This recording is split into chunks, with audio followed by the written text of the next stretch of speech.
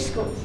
Here at Athena, our goal is to make sure every child can be the best they can be. 56 Creations is a three-day event where kids start their very own business or social change movement. We are going to make the cool eco-friendly bus that runs on electricity.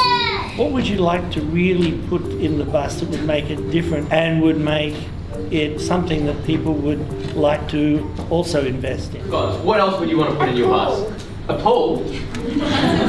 Okay. I started 56 Creations when I was 14 years old.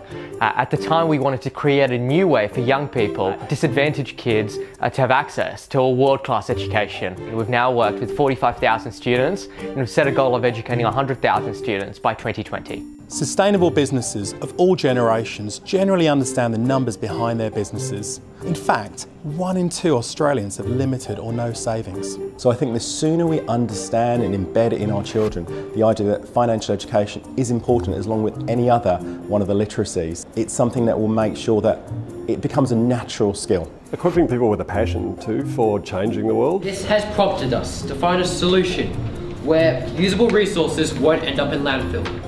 This solution is our business called Athena. A business operating for good.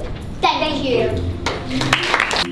We deal a lot with corporate leaders and people who've been in corporate careers and they've lost that passion and they've lost that energy and I just wish that they could be there to see the kids uh, and, and how, how much they embrace the opportunity.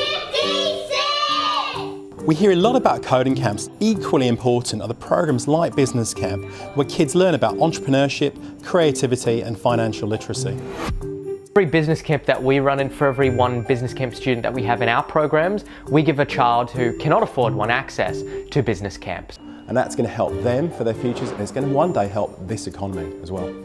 We can work with some great privileged students who are changing the world right now, but also the kids that in no way or capacity could ever afford our programs are having access to a world-class education and having, having access to change the worlds in their own communities.